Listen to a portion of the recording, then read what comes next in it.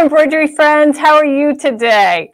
I'm Eileen Roche, founder of Designs in Machine Embroidery, and I'm thrilled to be here today and very happy that you're joining in. Today is the June Small Town Charm reveal, and I'm super excited to share that with you at the end of today's broadcast. And of course, you're going to find it in the 5x7 and the 7x12. It's a little different this time. It doesn't have an awning. So stay tuned and you'll see what's coming up. But before we do that, I have a special guest that's going to be joining me, and we're going to talk all about patches. Now, really, patches like the professionals make them on any embroidery machine. So let's welcome in embroidery extraordinaire wizard, Deborah Jones. Hello, Deborah. Hi, Eileen. Great to be here. Oh, it's just great to have you here. You know, Deborah, you have a vast um, breadth of knowledge in the embroidery industry that really stems from commercial all the way to you know the home industry that we're sitting in right now pretty much right well that's true and, and really it was a result of my dad's passion for embroidery so Aww. i'm really happy that he instilled a love of embroidery in me from a really young age. I grew up with it and uh, never had any desire to get away from it.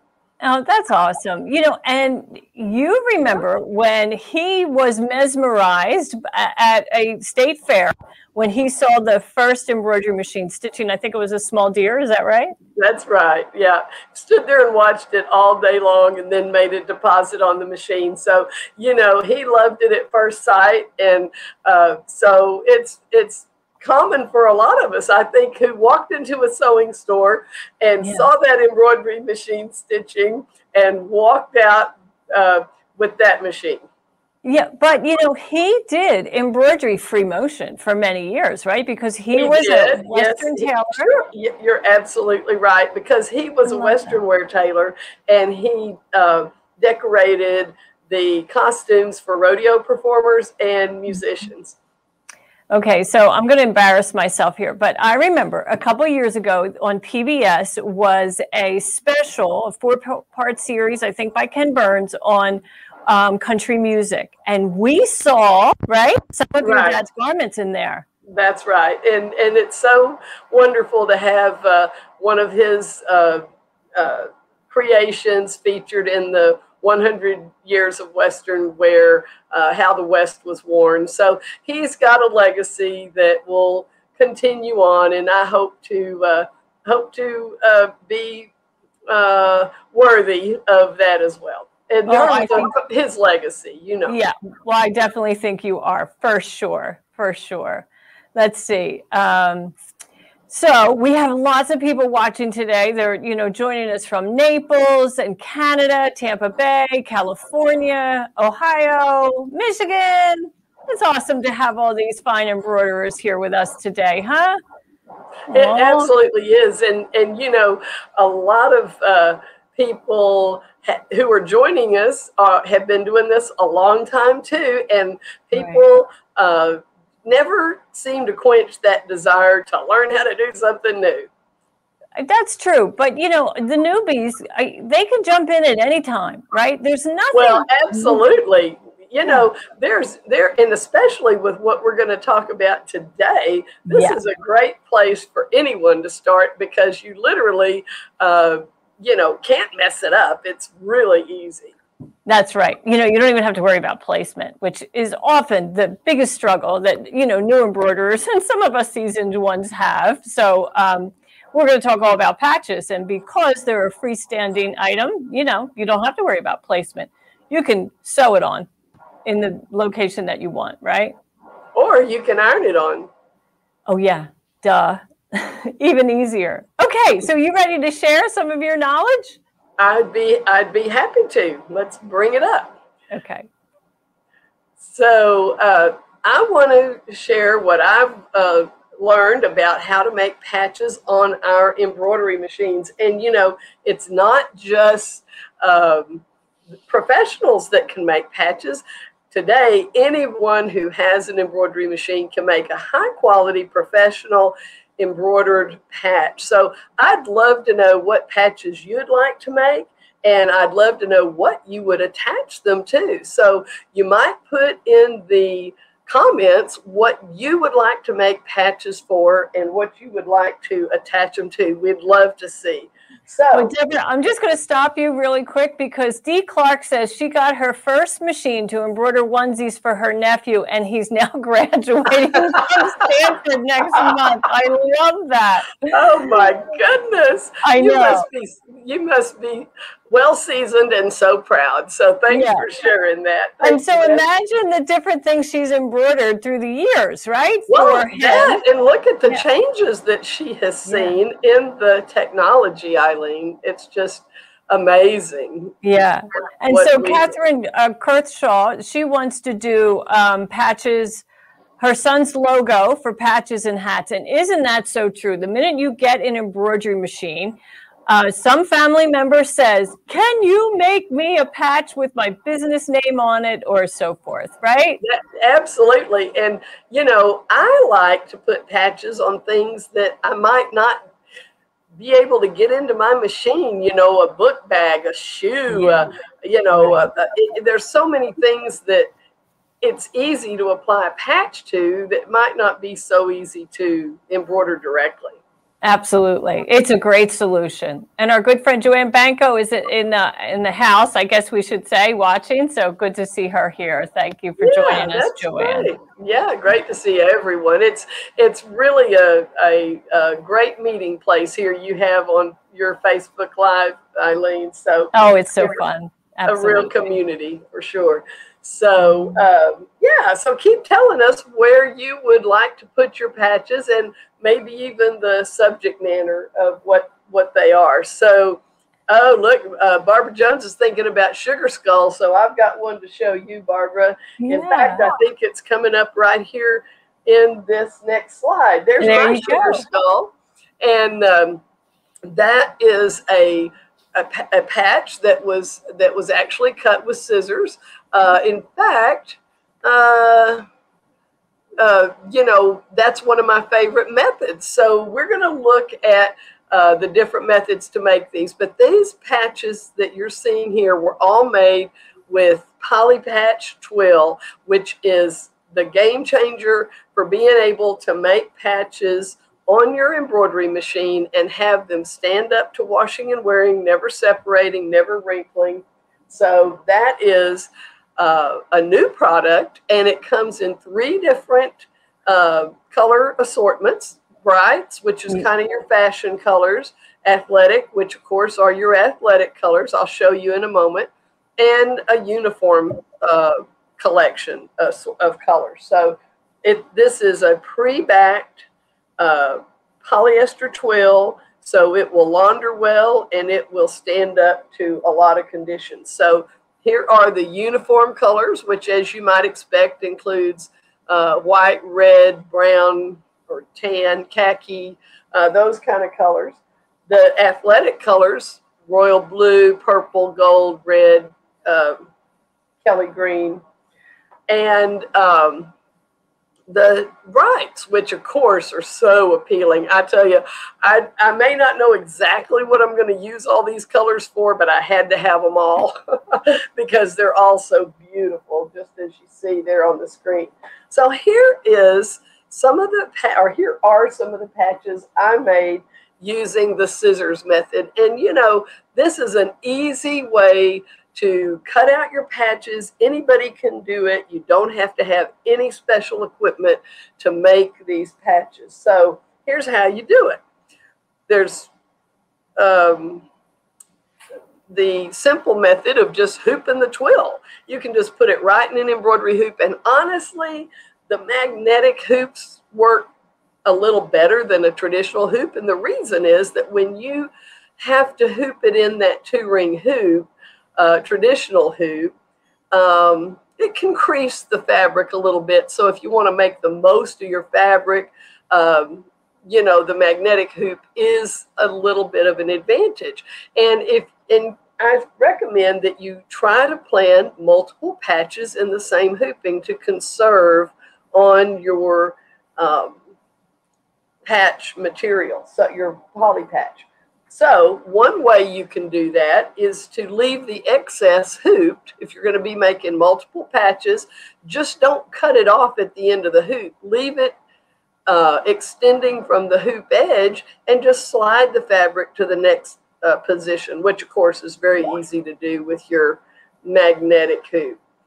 And then um, you uh, as a plus, you can hoop in any direction. This material is nine inches wide, and so you can hoop it vertically or horizontally, whichever fits your hoop size best. It's 24 inches long, uh, by the way. So in this instance, I laid out my patches to conserve uh, my twill. Yeah, I could have probably gotten them even a little closer, but I stitched both of these patches in a four inch hoop and if you need to, turn the direction to make them fit even closer. But, you know, on this piece of twill, I could still get another patch, um, even using the pre-cut method at the bottom of this sheet. And Eileen is going to show you a tip on how to accomplish that using our print and stick target paper in just a few minutes. But here is that finished patch. I cut it out with my scissors. Now I like to use a relatively short blade but sturdy uh, scissor, not a thread scissor, but a uh, embroidery scissor. Um, when I say not a thread scissor, I mean not one with real fine light blades. I like a uh, three to six inch straight blade embroidery scissor and just be careful not to nick the stitching as you're trimming around it. But practice makes perfect. And as you can see, uh, none of the stitches on this border were cut, but it's cut nice and closely.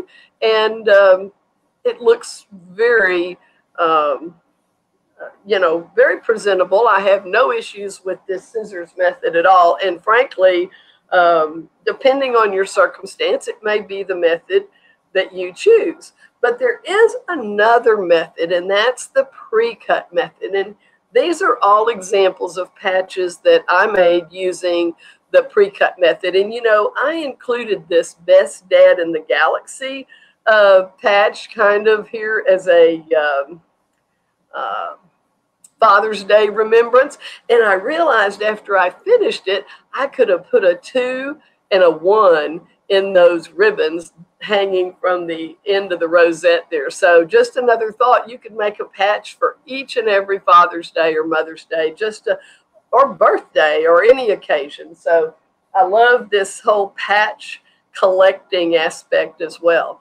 So in the pre-cut method, we're going to cut out the patch shape using the placement line. And when you hear me say placement line, what does that make you think of? I'm thinking of applique designs. So really, most applique designs might be suitable for making a patch. So just think about those applique designs you might have in your collection. So to pre-cut, using method one, you would hoop the twill and stitch that placement line that's right in the file and then cut right along that placement line. That's going to be very accurate because it's going to match up to that placement line when you stitch it onto your twill, I mean, onto your uh, Solvy when you see me demonstrate that in a moment. And the second method would be to use print and stick uh, target paper, which we're going to learn about in a moment, or cut it on your digital cutter, which if you've got a digital cutter, hey, this is uh, a breeze. So the uh, the next uh, uh, step is to hoop a piece of heavy water soluble. You want that water soluble soluble to be super heavy and to hoop it very tightly. Stitch a placement line uh, on the heavy duty water soluble, the same line that you use to pre-cut your shape, whether you hand cut it, whether you digitally cut it, whatever method you used, you're going to match that patch up to that placement line. So spray the back of the patch with a temporary spray adhesive, whatever your favorite is, uh, and then match that up and finger press it onto that heavy water soluble. That is uh, going to line up perfectly. Then stitch your tack down stitch just, and you recognize these steps, you guys, from appliques. So it's kind of the same as making an applique, but we're doing it on this heavy duty water soluble. Then we're going to just complete the design and uh, it's going to finish off with a satin stitched border. So it's just a regular satin stitch. But the cool thing about this method is that it leaves a completely clean finished border. And you just punch it out of that heavy duty water soluble uh, like a paper doll and just trim up any loose threads and you've got a great looking patch. I think that this is a fantastic method. If you want to take the time to pre-cut, yep, I think it's a winner. Either method, though, gives great looking patches. And we also uh, might want to match the border of the patch in some cases to the actual twill. So to make that easier, there are companion thread sets that let you match the border of your poly patch to the actual twill. So there's three sets of threads that will be a companion to the poly patch. So the last thing you might want to do to your patch is to make it an iron-on patch. Like I mentioned, you know, I might like to attach a patch to some luggage or a shoe, just anything you can think of. So you're going to need a, a patch attach, uh, heat uh, adhesive film. You're going to need an iron. I just used my little craft iron and a non-stick sheet. So here's the steps. You're going to turn the patch upside down on your non-stick sheet, cut a piece of patch attach a little larger than the patch and cover it up with the shiny paper side facing up. It's real easy to tell the clear film side of the patch attach. And then iron the patch attach onto the patch. It just takes a few passes with a hot iron over it. You can tell when it's melted really easily to tell. And then let that completely cool. I can't stress enough don't get so eager to take it off that you want to do it before it's cool because then it's too elastic and uh, you might tear some off of the actual patch where you want it to stay. But if you let it cool completely, then it just tears away cleanly from the edges of your patch. And you can see in the first picture, I've torn away half of it. And in the last picture, I've torn away the rest of it. And it's sitting there in a little ball to the side of my patch. So that is how you make patches with patch poly patch uh, twill, Eileen. I love it. I love it. It's so simple, right? You have everything lined out. That professional grade poly twill is really what makes the difference. It is, and, you know, because I know you've gotten many questions over the years, as I have, about what to use to make a a patch. And no matter what you fuse to the back, there's always that risk of it coming separated or wrinkling. And mm-hmm. you know, you just you just really want to have that um, that professional grade, and that's what Polypatch does. That's us. right. Absolutely. It's awesome. And then the iron on steps are so easy, and we know that it's going to um, you know, stay adhered to the garment or bag, whatever it is. Boy, we've had lots of different uh, comments. Like Joanne Bankish told us that she made 50 different patches for a group of children to place on their capes so that they were all superheroes and it really oh. made them feel like superheroes. Well, yeah. and a good point about that illustration, Eileen, is that if she gave those patches to those children, yeah. their mothers may not sew. So it's a good idea to put that patch attach on the back of patches that you're gifting to people so that they can just iron them on. Most people do still have an iron. Well, most. yeah. Right. And so Joanne also said that she likes to make an iron on patch to include in a greeting card as a special extra. Um, and she always includes fusing instructions for the recipient. That's awesome. Very smart. That's Very a wise woman there. Yeah, she, well, she's a very wise woman. Um, let's see. Uh, Valerie Newby said that she loves the idea about the pre-cut. You don't have to worry about cutting any of the stitches. And Reen Wilcoxon, our good friend at Embroidery Garden, said, how do you make an, on, an iron-on patch just as you flip that slide to go into that? So yeah, yeah. you've answered her questions for sure.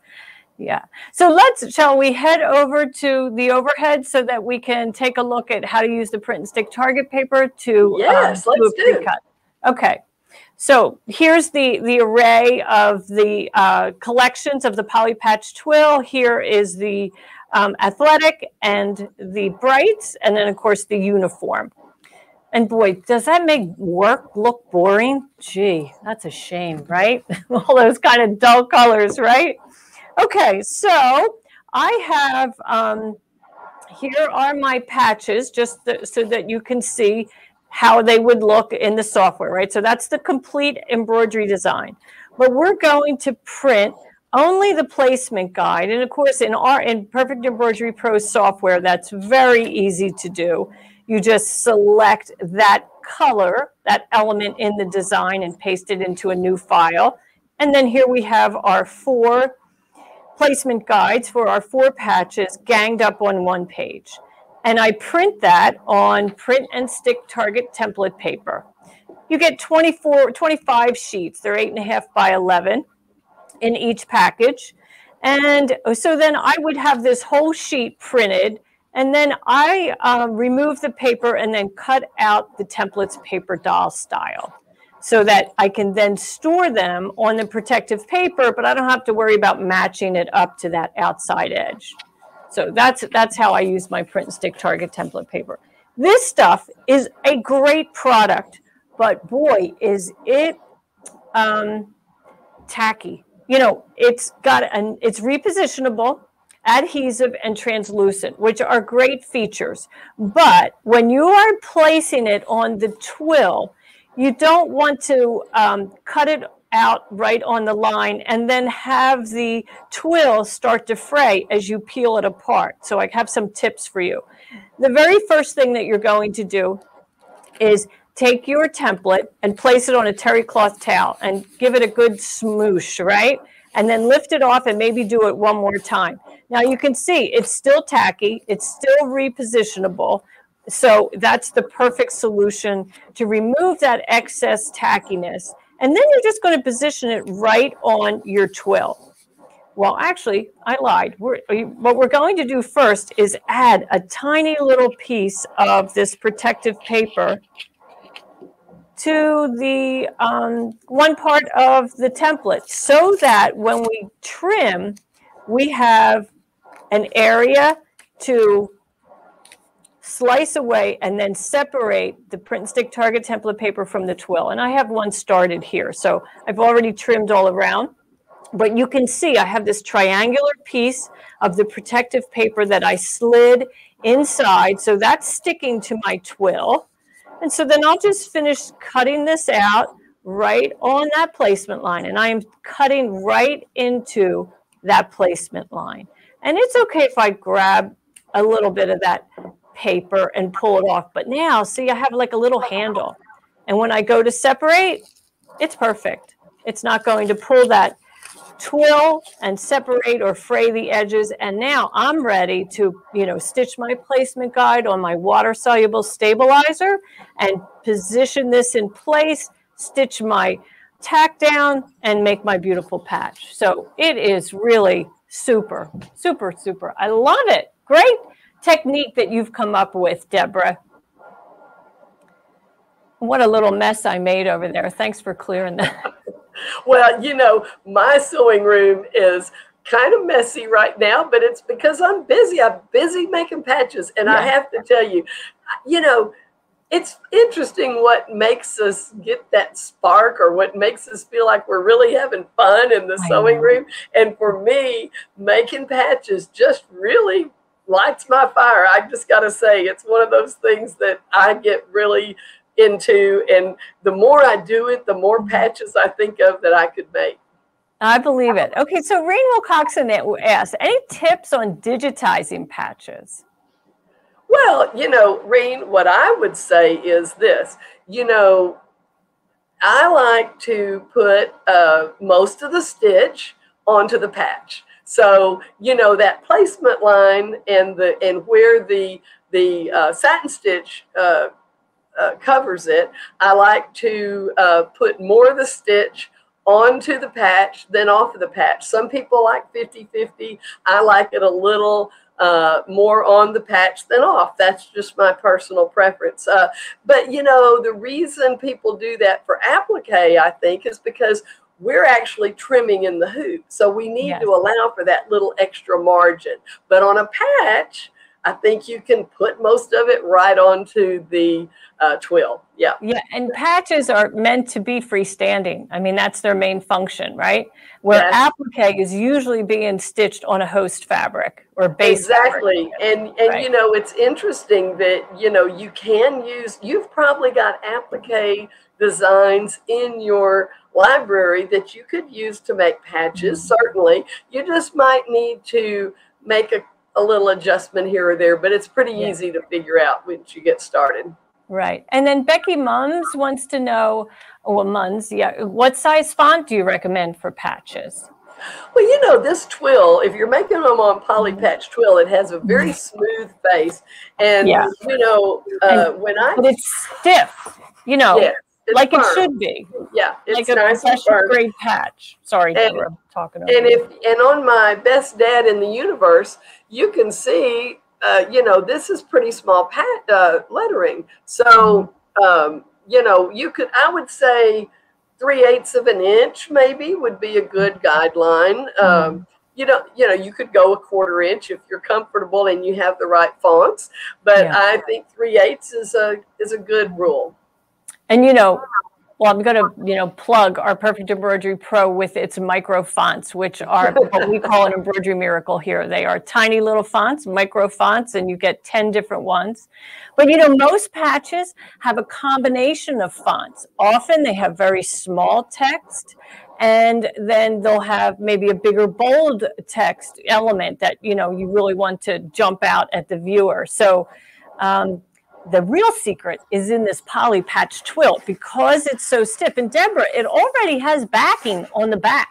So it's and not that, just a freestanding fabric. This has right, been prepared yeah, specifically right. for patches. And it is a real professional patch material used by uh, people that make patches by the thousands. So we get to use that very same material in our own home studio. So mm-hmm. that's why we know or feel really confident in this material. You know, Deborah Jones is our consumable product manager here at DIME. So this is a consumable product, right? Because, you know, it's not like a, a monster hoop where you're going to buy one. This is something you're going to buy over and over again. And, you know, she went to the trouble of researching the source. What are large commercial embroidery houses using? Where are they getting it? And guess what? We're getting it at the same um, resource and then providing it to you in a put up, shall we say, that is more user friendly. They're 9 by 24 inches and it's a rainbow of three different colorways, which is exactly you know what you're going to need. Are you going to need all three? Maybe, but at least you'll have a nice array of this fabric to make multiple patches. And uh, you know, if you do the pre-cut, goodness, on a nine by 24, well, you can do the math. But imagine how many three-inch patches you can get out of that right? Exactly. You're going to get three yeah. across divided by 27 and a lot. right. And, and you right. know, uh, you you may not even know what you're going to use all those colors for when you when you get it but after you start making patches you know you uh, like what when I was making that angel, that 99% angel, I thought, I want to make that look like a cloud. I'm going to use that yeah. light blue. I never thought about using that. I didn't think about using it until I had the idea for that specific patch. So right. I'm a fan of having multiple colors. Mm-hmm. And then Valerie Newby wants to know what size needle do you use on this twill? Good question. Well, one of the great things about patches is that by this method, we don't need any special equipment, and you can use your 7511 embroidery needle. You could use an 80 uh, as well, but really that 7511 is sufficient because this twill is firm. It's not heavy. Okay, so you don't need, and it's got a fine twill. It's not a coarse fill. So you are going to get good definition on your column stitches, on your lettering. Uh, you don't have to worry. And then Sheila Wagner wanted to know, do you put the target paper on the top or the back? That's a really good question. So some patches are not symmetrical, meaning when you print your placement guide, then um, your placement guide is meant to be used right side up, let's say. So you're definitely going to put that print and stick on the top of the fabric, not on the back. And remember, there's already backing on the twill, so you don't have to worry about stabilizing that. So I put my print and stick target paper on the top. Now, if for some reason you wanted to put the print and stick on the back, when you print, before, before you print your placement guide, mirror image it and then you can place it on the back. But you know, start out just putting it on the top. Yeah, right? I think that's I think that's the best. And you know, Eileen, if you have a wonky, irregular, geometric shape of some type, you might even want to mark the top. Yeah. You know, well, that one would be pretty easy. Yeah, that well, would. That's but, you know, like when I yeah. did my cloud uh, shape design, let me oh, just yeah. show that like it could have been i don't know what was the top or bottom you know right. i, I should uh, mark that yes. when i use that particular method you know so um, that's and, yeah and that's the benefit of printing out you know the full page uh, you know the full design so that you have a reference you could always take that cloud patch say deborah and you know position it over the full smart. patch so that yeah, you know. very smart, very yeah. smart. Yes. Now, Anne McCarthy, who uh, lives right here in Dallas, she says the patch twill cuts great on the on the digital cutters. And you know, truth be told, she's a DIME educator, so she had the opportunity to test this product um, from us. She's already had it for a little while, and um, so she's well, she's a wizard on the digital cutter, and so thanks. Yeah, I can't wait to see some yeah. of Anne's uh, patches that she's made because she's very creative. But I agree, I have cut uh, some of these patches on the digital cutter, and you know. I was a little intimidated to get the digital cutter back out, to be honest, Eileen, because I forgot, you know, yeah. how to scan the material and, you know, get it in the right place. But it, I, you know, once I started using it for it, I agree, it cuts clean and it and it you know, I didn't have any problem with, uh, you know, little fray pieces that didn't cut properly. Right. It cuts clean as a whistle. Awesome. And then Becky Munns wanted to know, since this fabric is already stiff, does it require any extra stabilizer in the hoop, in a monster hoop? So I would say no. Yeah. So of course, if you're using the pre-cut method, then you're going to hoop the heavy-duty water-soluble stabilizer, which we do have, and hopefully we can get an image of that up on the screen in a little bit. But we do have that in our on our website. And um, but if you are going to hoop the twill, then no, no stabilizer at all. I love that. It's already been done for you. Yeah. So I think we're kind of caught up on all the questions. Joanne Banco loves the roll sizes and the selection of colors. She says that makes it really useful. And uh, oh, this is a kind, kind comment from Ella Bly. She's new to machine embroidery. Well, welcome. And you are always welcome here, Ella. You're going to find a vast amount of information here every week. Um, and uh, you already have our hoop mat and love it. Well, good for you to use a hoop mat as a newbie because many of us spent 15, 17 years chasing that hoop around the sewing table, right? Trying to figure out how to keep it still while we hoop. Oh, right? Okay, well, Tony Lelly says she loves the small town charms. We do too. We do too. And Esther, my dear friend Esther Hopland, she wishes the shipping wouldn't be that expensive to Canada. I know. I feel like calling your prime minister and saying, can't you guys make this more doable? Because it's really not just us. Let's see. Okay, so Stephanie Hardy says um, she's shopping and she only sees the Brights twill. Can I get the athletic assortment of colors? You sure can. So I'm hoping somebody on my team is listening and they'll jump over to the website and make sure all three um, colorways are um, options. You know, I wonder if you have to click on the, the little, you know, the down drop down little menu, maybe, down, maybe to select your colors. Yeah. Well, if I was really smart, I'd take everybody over there, but mm, probably not today. Okay, so if you came for the small town charm, I just want to remind you that on Saturday, this Saturday, May 29th, I know here in the US it's Memorial Day weekend. But if you don't have anything to do, you can join our friends over at OML Embroidery. And uh, Sue Brown will do a free sew along doing the small town charm. So if you have friends that are interested in seeing the June small town charm, invite them now, share this link, and tell them to come on over. We're just about to reveal. So if there's no more, if there aren't any other questions on patches, then we will move over to the small town charms. And I'm just kind of scrolling through to make sure we handled the needles. Beverly Blakely wants to do it for baseball caps. Stephanie Hardy says it would be great to do for jeans instead of embroidering directly on them. And, you know, I don't know how old you are, Stephanie, but, you know, earlier in my life, that was really popular. Jeans were, um, you know, decorated with patches and they were just awesome, right?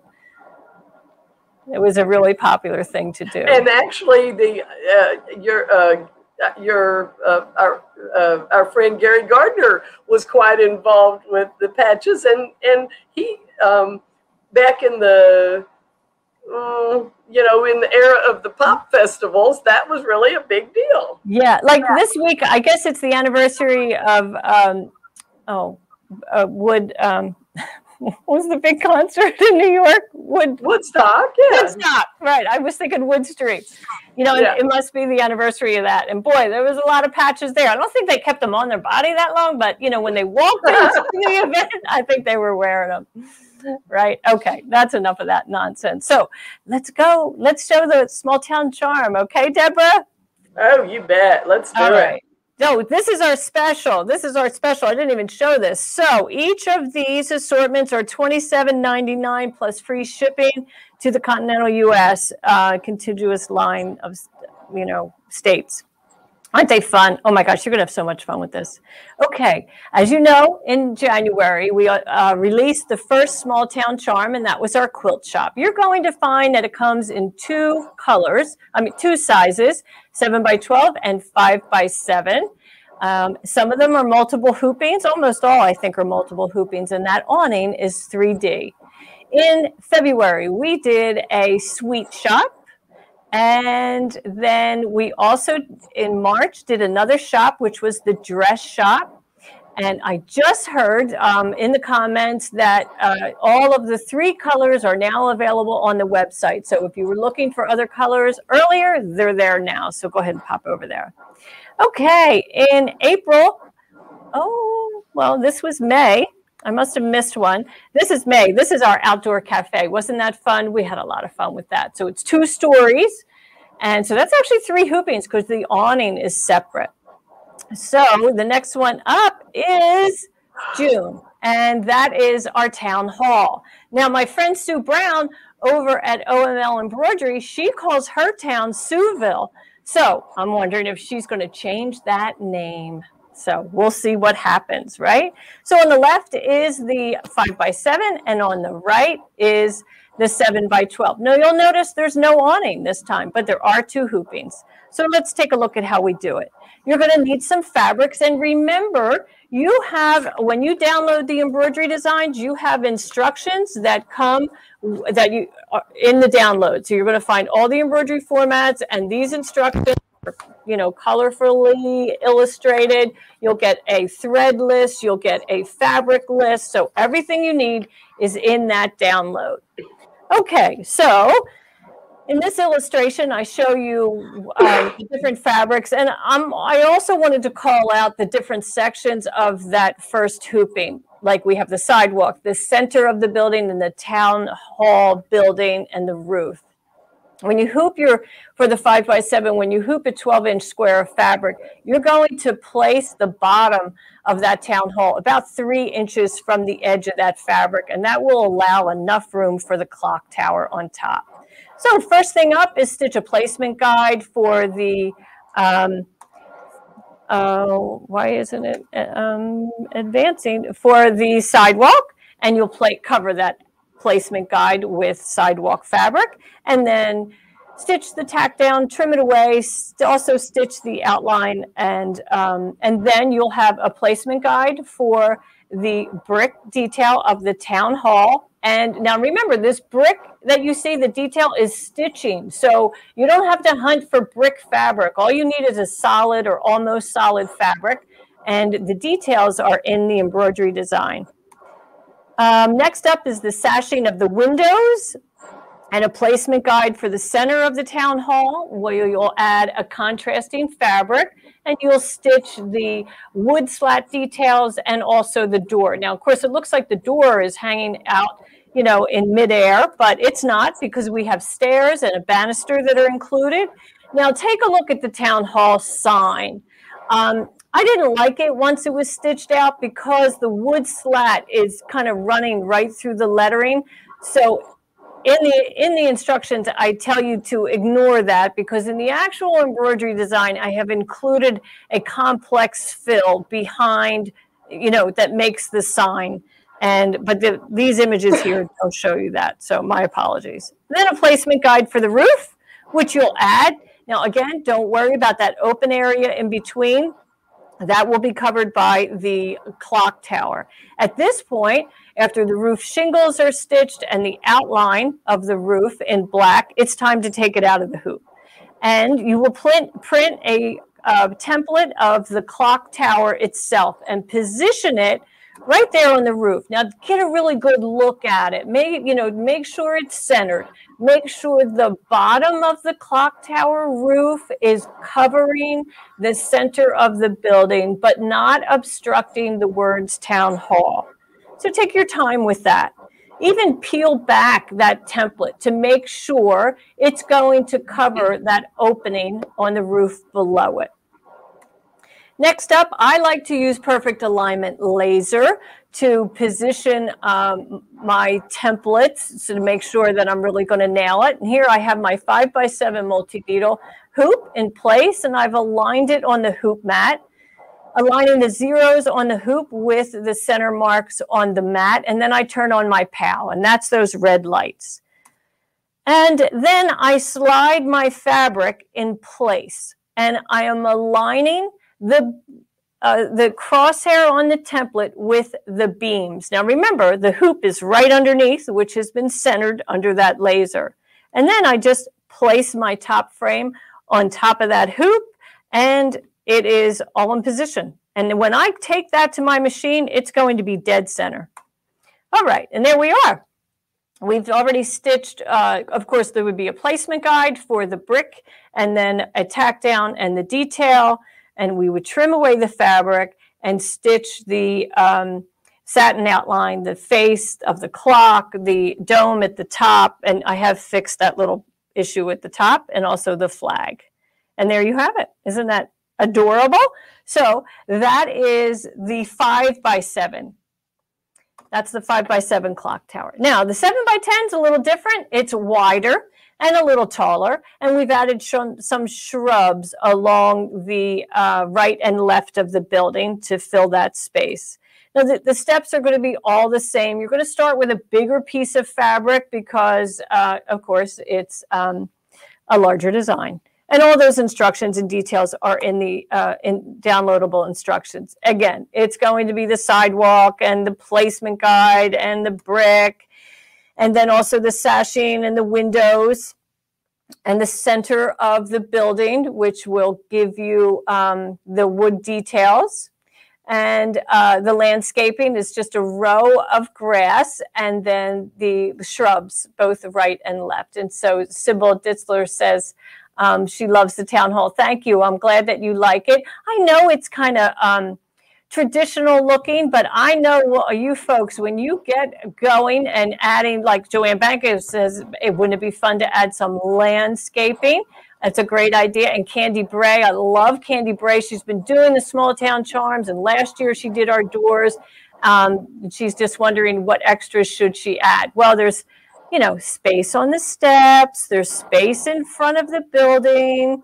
You know, there's, I know y'all. Okay, so now you can see that complex fill be in the sign, and that's creating a nice, uh, place for the lettering to sit. And of course, if you have our software, you can take out the word town hall and stitch, um, you know, mayor's office, like Sueville, uh, like, you know, mayor of Sueville, or who knows what she's going to do. I'm anxious to see next week. Okay. Uh, so let's get into how we're going to do the um, clock tower. Same thing, same technique. You're going to use now print a template of it. It's very important. And now here, this is where I use PAL. Now I'm in my 8 by 12. You can use a 7 by 12 hoop. Notice how I have marks on my monster hoop, the bottom frame. And, you know, they're just top, bottom, right, and left. And uh, let's see, Mary, you have the 9 by 14 monster hoop. Absolutely, just cut your fabric a little larger to make sure you fill that hoop. That's all. Um, and Sheila says, uh, what do you do with it after you stitch it? Well, Sheila, many people are saving these and they're going to make a quilt for the whole year. But if you are like me um, and you, you know, you can purchase this um, quilt block stand separately, and then I turn them into uh, a way that they just sit on on this, and then it's a it's a home decor item that you know that you just decorate your house with, and you change them every month. So that's that's what's happening with these. Um, let's see, Joanne Banco likes a state flag. That's a great idea. That's a great idea. And Betty Coley is going to make it a, a, courthouse. Good idea.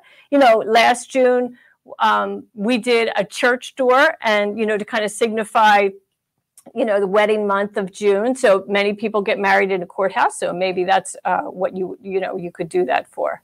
Yeah, super fun. Okay, um, so here I am, you know, marking my hoop. Well, I, I mean, my mark, my hoops are already marked. And then I place it under PAL and turn on the lamp. Um, and then the next step is to slide my fabric with the template attached underneath that beam. Now the hoop is underneath. I want you to understand that. So the hoop is underneath. And then I just take the top of my monster hoop and position it right in place and now notice the vertical beam is not actually aligned with the vertical line on the clock tower.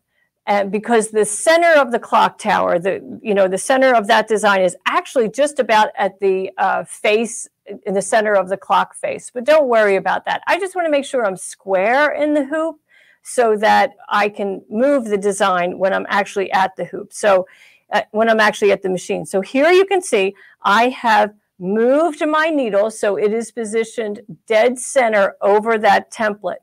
And to verify that I am, oh, why is that there? That's the first color. Oh, I'm sorry. I thought I added another um, slide, but that would be where I would uh, use my trace feature on my machine to travel to like the left end of the design or the right end of the design and confirm that that crosshair is going to stay in the center of my hoop. And that tells me that I am absolutely um, square in the hoop. So, and then of course, remove the template. Don't forget, remove the template because if you stitch on that template, you're never getting that off, I can tell you. Okay, Sue Brown, she wants to put some birds in the sky and clouds. And um, and Joanne Banco loves your ideas. Joyce Leary says, How do you get the centering lines on your hoop? Well, stay tuned, Joyce, and I'll pull a hoop off the wall and I'll show you how I did that. Okay. How about we do that in after we finish this? Okay. So again, you're, oh God, goodness. Here's my, here's my slide where it shows you that I use the trace feature on my machine, you know, and travel to the left part of the design. And I'm just confirming that the needle is going to be centered over that line. And that's just a great way to um, make sure you're square in the hoop. Okay, you're going to continue, you know, adding your fabric and then completing your design. And isn't that fun? This is the quilt block stand. Now, in the instructions that you'll download, it tells you that you can um, use the arch to trace that arch on your fabric. So if you want to make that curved top, all you do is lay this on the backing fabric and just trace that arch and then stitch about a quarter inch away from it and you'll be good to go. So pretty fun, huh? Let's see. Janice Holdridge, she wants to add, oh, uh, she wants to add hot, hot air balloons. You can see them in the sky. Great idea. Great idea. I like that. That's a good summer idea for June. And um, yeah, so do you like it? Give us a thumbs up. And these these hearts, that's so nice. Red hearts, blue hearts, really very lovely. Mm-hmm. Okay. And Marilyn says it's a it looks like a great quilt to make. Okay, so Deborah, shall I show them how to um, add those marks? How about if I do that? You chat a minute while I go grab okay. a hoop. Okay. okay. Well, you know, I hope that uh, everybody uh, enjoyed the patches, and I do want to say that the companion threads might not be up uh, available for purchase quite yet, but they will be soon. So if that's something that you wanted to add, probably not in the shopping area quite yet, but it's uh, it will be soon. So we definitely wanted to make sure you knew it's going to be available. Yeah. So Deborah, it's pretty easy to, um, you know, I, I I teach you how to add them for the top, right? How to how to add your rulers and find the center on the top, and that's on my blog. You, the instructions are there. They're also in the package when you purchase the hoop, when you open it up, the instructions on how to add the rulers is included.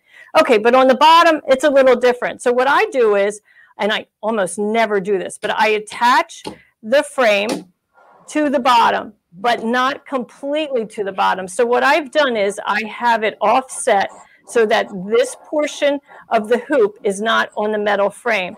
And then I just take a, a, a marker and um, I can use PAL if I want, but I don't have to. I could use a ruler and then I just draw a permanent line with a Sharpie because that doesn't smear on this metal surface and I mark it there. And then I do the same here. And then top and bottom are marked and then I do the same for the right and left vertical. And you got to get your fingers out. There we go. And I just do the same. I would align that you know, make that mark right there with this zero, and now I'm marked. So easy. Right, Deborah? That is oh. a very good tip, Eileen. And, you know, because a lot of times something that's seemingly simple like that, we might not have thought that that, that just to use that top hoop as your reference. Yeah. That's a great right. tip. The work is already done, so it makes it super easy. And sometimes it's really handy to have that bottom hoop marked. You could put rulers on it. You could purchase extra rulers, but really it's not necessary. You just really need the center. Yeah. Right, right. Well, that was a lot of fun. I can't wait to see what our OML gang will do. And I sure hope you'll post your uh, image of your small town charm on social media. Remember, use hashtag DIME sew along, and we'll go out there and we will search um, uh, Instagram and Facebook to find your small town charm. So we can't wait to see what you've done. Oh, and next week I have a special guest. So maybe we could slip over to PowerPoint. Next week, I have Salima Jaffer from AAA Sewing in Lomita, California, who's going to join me. And we're going to talk all about Snap Hoop Monster and the Dream Panel. See the Dream Panel behind Salima, that beautiful flower? the quilt that's to her left, that's what we're going to talk about. She most certainly has um, digitized, uh, I mean, she's finished that quilt. She used our monster hoop, so we'll be sharing some tips on that. And I'm going and to play Salima with is really a delightful uh, person and instructor. I know everybody will enjoy that. And that is a beautiful uh, class. Yes. Yes, absolutely. And Salima, gee, we've been friends for almost 10 years, and she's got a, a great dealership, a Baby Lock Brother dealer out in uh, California. And it's a family business. You know, which like most of our sewing machine retailers are, right? They're all 95% of them are small family businesses. Right. And so Right. our whole theme this year really is supporting small town businesses, the small town charms. You know, it's been a difficult year. So let's help those who have been important to us. All right. Absolutely. Deborah. Yeah. Judy Warren says, wow, Salima. Yeah, she knows Salima. Joanne Banco, so kind. She says, fantastic show. Happy stitching, everyone. Yeah, and Sherry, we love this too. So I look forward to seeing everyone here next week. Work on those small town jar- charms. Enjoy your holiday weekend. And Deborah, thank you so much for sharing all your tips. Oh, it's my pleasure, Eileen. It's always great to be here. Thanks for having me. Okay. So long, everyone.